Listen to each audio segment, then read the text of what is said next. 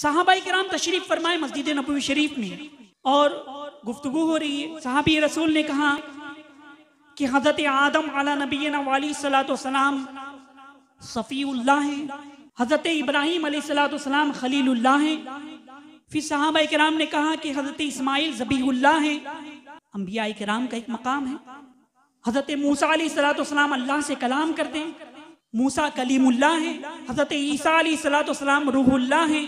मेरे आका सल्लल्लाहु अलैहि वसल्लम उतने में तशरीफ़ लाए और आका सल्लल्लाहु अलैहि वसल्लम ने फरमाया, अना हबीबुल्लाह, कि मैं अल्लाह का हबीब हूँ।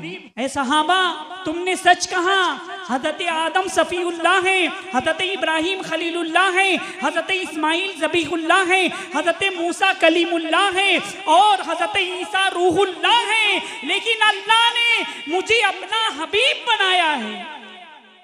महबूब हैं अल्लाह के अजीज़ान गिरामी, रहमत आलम सल्लल्लाहु अलैहि वसल्लम का मकाम और मर्तबा, उनकी अजमत।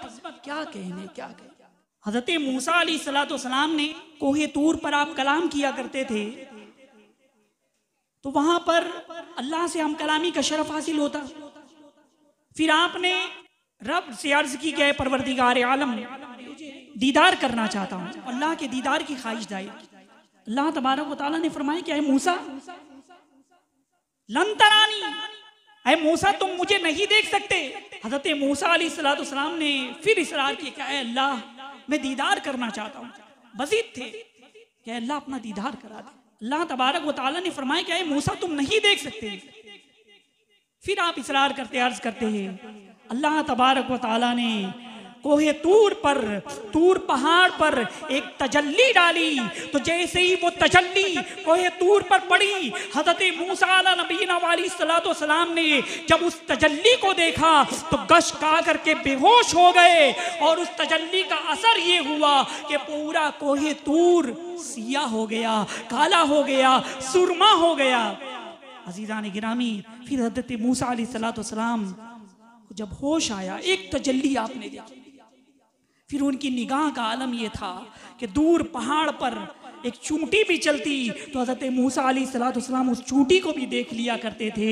लेकिन कुर्बान जाइए, आका सल्लल्लाहु अलैहि वसल्लम की अजमत तो देखिए कि शब मेराज में अल्लाह तबारक व ताली ने हम अपने महबूब सल्लल्लाहु अलैहि वसल्लम को अपने कुर्ब ख़ास में बुलाया। सुबहान अल्लज़ी असरा मस्जिदिल हरामी अक्सा। पाक है वो ज़ात जो अपने महबूब को रात के हिस्से में मस्जिद हराम से मस्जिद अक्सा तक ले गया। फिर उसके बाद आगे के सफ़र मराज हुआ। आका सल्लल्लाहु अलैहि वसल्लम अल्लाह के कुर्ब ख़ास में पहुँचे। इतना कि दो कमानों का फासला रह गया और अपने माथे की आँखों से मेरे आका सल्लल्लाहु अलैहि वसल्लम ने अल्लाह तबारक व ताला का दीदार किया। न पलक झपकी, न आँख झपकी, वो दीदार किया। कुर्बान जाइए मेरे आका सल्लल्लाहु अलैहि वसल्लम का मकाम, उनकी अजमत